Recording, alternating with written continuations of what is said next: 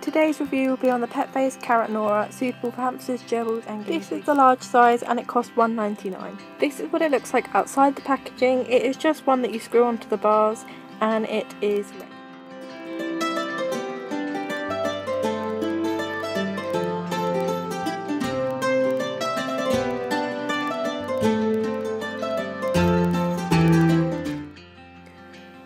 As you saw, the guinea pigs weren't really keen on this at all. They didn't really nibble on it, but even though they didn't seem to like it, I will leave this in their cage anyway, because I'm sure over time they will take a little bit of interest to it and that's better than nothing I suppose. A pro of this is that it is nice thick wood so it would take the guinea pigs or whatever animal you're giving it to a long time to get through which is always a plus because you don't want to keep going out and buying more and more toys that they will just destroy in no time. Another pro is that it will attach to pretty much any cage that your guinea pig has. cons for this. The only bad thing, but it's not really a majorly bad thing I could think of, is that when the carrot gnawer gets wet it does run like I just got it wet from the um, water bottle and I got red all over my hands so yes so if you do notice that your guinea pig's mouth is red and it has been gnawing on this then it's nothing to worry about because it's just the dye running off and it won't harm them at all.